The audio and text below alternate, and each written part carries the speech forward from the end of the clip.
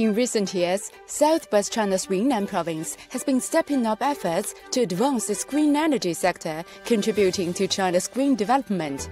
Besides its abundant hydropower resources, Yunnan is also actively developing other forms of renewable energy, such as solar and wind power, to reduce reliance on fossil fuels and reduce greenhouse gas emissions.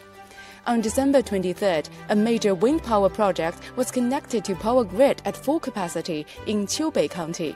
The project has 172 wind turbines with a total installed capacity of 860,000 kilowatts. It is expected to generate 2 billion kilowatt hours of clean electricity annually, reducing carbon dioxide emissions by about 1.66 million tons each year.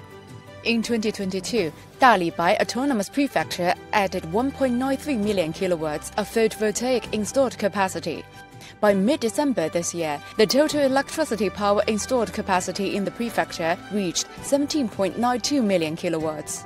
下一步我们要在风电资源的开发，然后地热能的这个呃综合利用，以及我们绿色电力认证和绿电的交易上。我们要再再做突破。